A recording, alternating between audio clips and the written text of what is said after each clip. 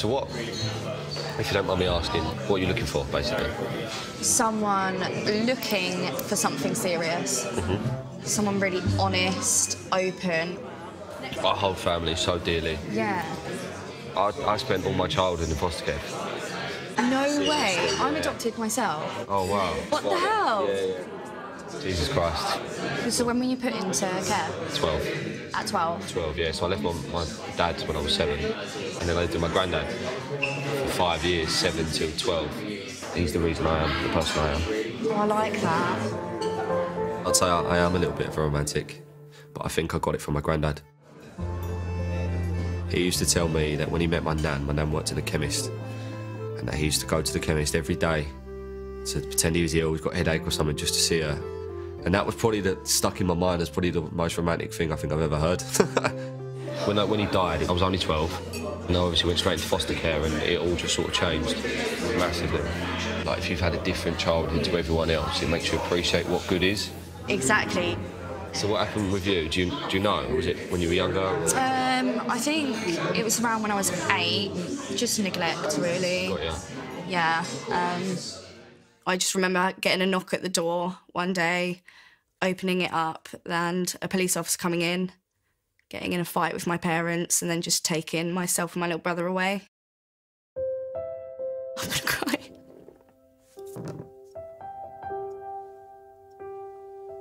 Sorry.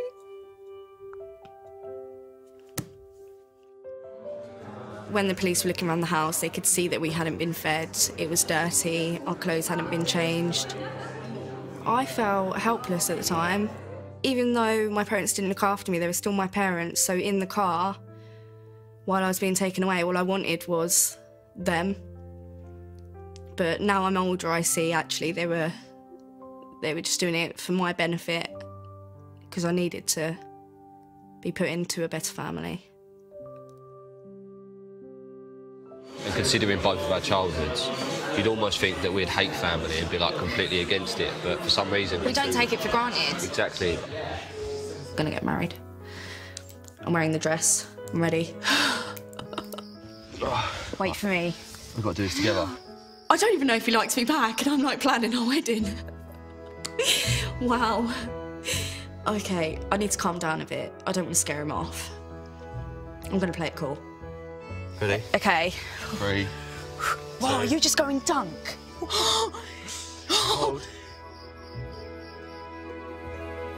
So, would you like to see each other again? Ladies first. No. You've got to go first. Okay, yes, I would like to see her again. Yes.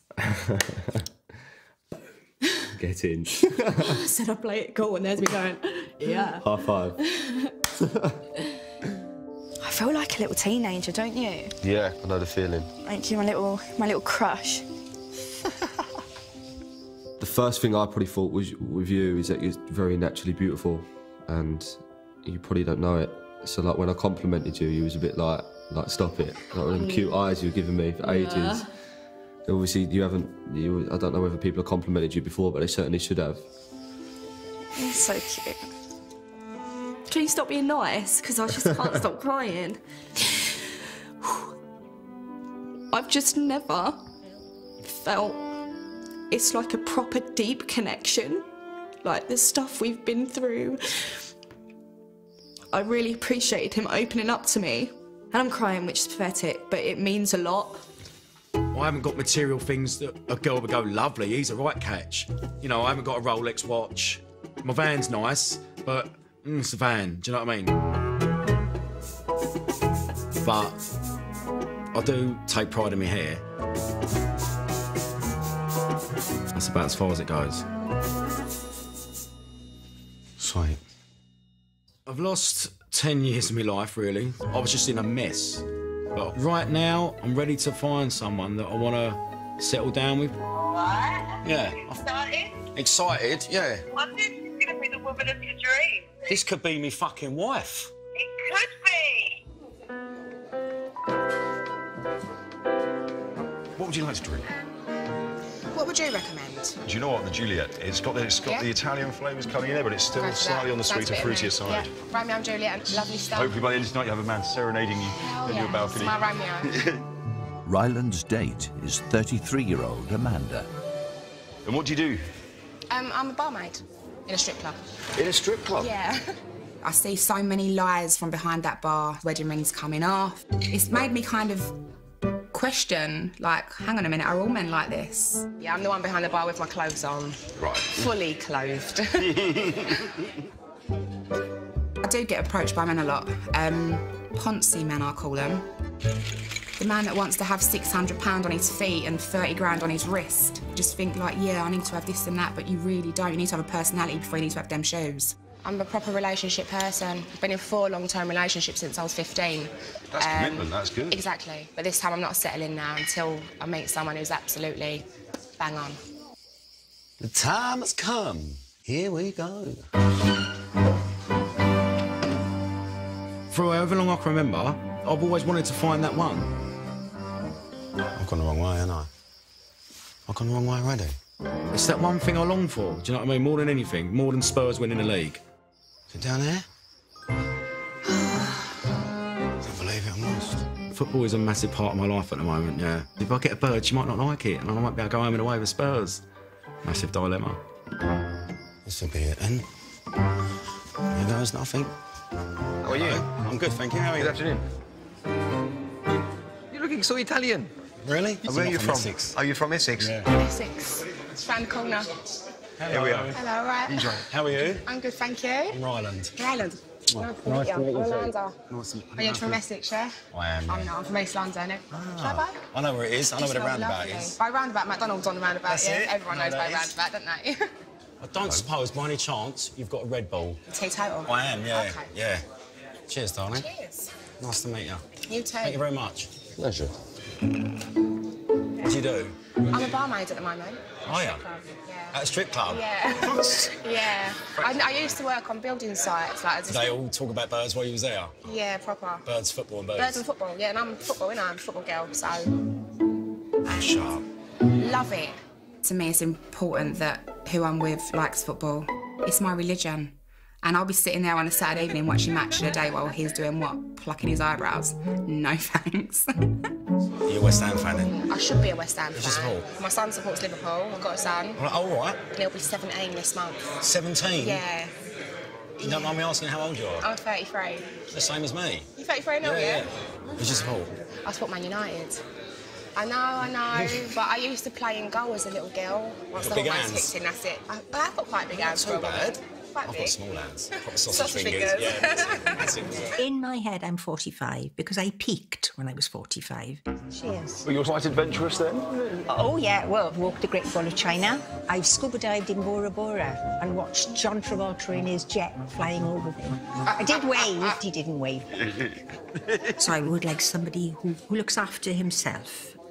I don't want elderly. I tend to go for women younger than myself.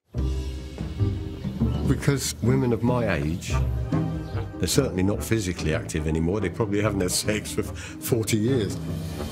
Hello. How are you, Fred? Very good. How are you? Are you divorced? I'm widowed. Oh, yeah. It's a I bitch, isn't it? It is a sod. It's a bitch. Yeah, yeah. And how old are you? Oh, I'm ancient. Are you? I'm 75. I'm 72. Are you? You're looking very well. 72, 72 are you really? yeah. I get a little bit of the Welsh there? Oh, you get a lot of the Welsh. you, you were in the army. I've been all over the world. I got into a bit of trouble in New Zealand once. I ended up in Auckland prison. Wow, what did you do? What did you do that warranted that? then? Well, we were organising parties on the beach, you know. And one night we'd had too good a time, and Oh dear. by the time we got back, the ship had gone. It was on its way out, you know. So you're a bit of a rogue then? Oh, no. Yes, you are. God, I got to the ripe old age of 28 before I married. I, I never once Straight. was, no, never once in 37 years, no. She was everything really that I That could have wanted. wanted. Oh, this is one of the f- few photos I've got left of her in her prime. Yeah.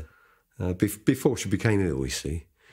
She never went out without doing a, that lion's mane of her hair Everybody loved her. There wasn't anyone had a bad word about Jenny. I remember coming back from the hospital, going in the back door to the house and into the kitchen, and, and that's when it hit me, you know. And it was hard. Oh, it was It's, it's hard work, isn't yeah. it? You don't realise how losing someone like that can affect you. But it did, yeah. Just after Jenny died, I rounded up all the photographs, took them all down to the, the paper mill and threw them on the conveyor to be pulped up, you know. Got rid of them all. I just wasn't thinking, I wasn't myself at the time. And of course, I've, I've regretted it ever since. My wife had multiple sclerosis. And, uh, you know, so she had that for 20 odd years, you know. I ended up the last sort of four, five, six years of her life caring for her. I wish I was still doing that because, you know, I miss her dreadfully. Uh, no one could love anyone more than I loved her. Yeah. Yeah. All consuming, yeah.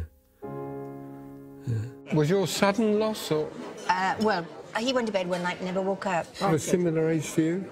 He was a little younger than me, 14 months younger. He was my toy boy, you see. Yeah, 14 toy. months young, my toy boy. Must have been a hell of a jolt for you.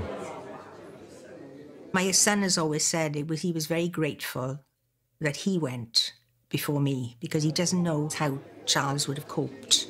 I think he would have been a bit lost. My garden has got a hill, and we wanted to scatter his ashes there so we could keep an eye on him after he, you know, to make sure he was okay. And um, the boys went up, and they they scattered his ashes and the wind changed. James came down covered in dad, which we laughed. Charles would have would have hooted with laughter at that. Absolutely hooted. I foolishly say it took a lot of training to get him like that, you see. Yeah. You know, I haven't got time to train another one like that, you know. A lot of people think I'm a bit rough, but I'm not like that at all. I'm just a normal North London guy who's got a good beard, a few tattoos, and a humongous. That's a pretty good ass heart. Men tend to give you this nod, and I'm like, oh, oh, they must fancy me. Now I'll take it to the next level. I'm like, oh my god, we're married and everything. Cool, that's cool.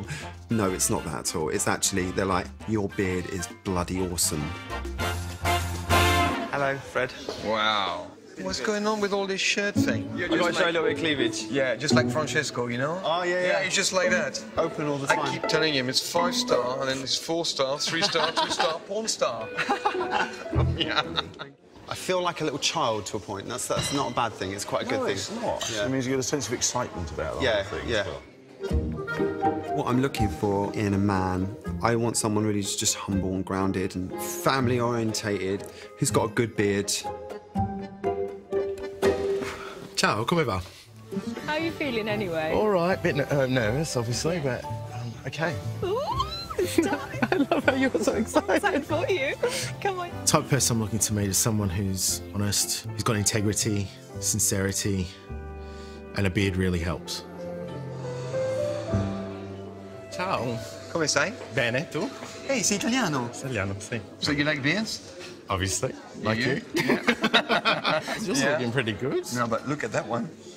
No. That's the one. Come with me. Thank you. Hello. Hello, mate. Fun, guys. How are you? I'm really good. I'm Good Shane. to meet you. How are you? You good? Good, good. Yes? Good. A bit nervous, but Yeah, it's all right. It's understandable. ah, here we are. here we are. Nice face for yeah. Thanks. So you've got it. You've got it all going on. Yeah. It's like the the tash, the everything. You've got good teeth as well. That's nice. Where are you from? Originally from North London. You, you got an accent. I'm Australian. Okay, cool. Yeah, yeah. Hi. These beards. This is great. It's the beard game. It is, man. I feel left out now. Anyhow, can I get you a drink? I would love. I think something pretty light. I think. Um, what are you drinking? What do you have? What have you got? I'm um, on a light lemonade. Yeah, you can have just a clean lemonade if you want. Just something to refresh the palate. You've got- Cool. Yeah, yeah, yeah. I can be a bit timid about meeting someone face to face. That bloody old thing when they say that. Just picture them all naked. It don't really work. yeah. So, um, yeah. Should cheese you before. I Yeah, man. Seriously. Cool. There you go. Oh, name is what. I... Oh my god. How Have we not done names yet? It was like already? It was- it was like talk talk. It was like, oh, Roberto. Roberto, I'm Shane. Lovely to meet Pleased you. Pleased to meet you. um, no, no, it's a bit nuts. We like go through the whole dinner. We don't even know each other's name. The payment, guys? Perfect. Yes, Thank sure. you, Francesco. Thank you very much for your How's service. everything? Amazing. Wonderful. Which one's better? Oh, you. Yeah. It's been there. You're softer. We did, good to see you. Keep winning today. I have to be honest, it was a really lovely, warm experience. Roberto was lovely. My first day in 15 years has been absolutely epic. Let me feel yours. This is soft, man. It's not bristle. Because I've got oil in it today as well. See, I don't have the. See, everyone's being fooled by your oil. That's, I know you I look don't at have oil. shine a little bit. I see what you've done there. You know? That's life. Hi. Buonanotte. Thank you very much. Buonasera. Ciao. Thanks, Fred. Thanks so much. Would you like to see each other again?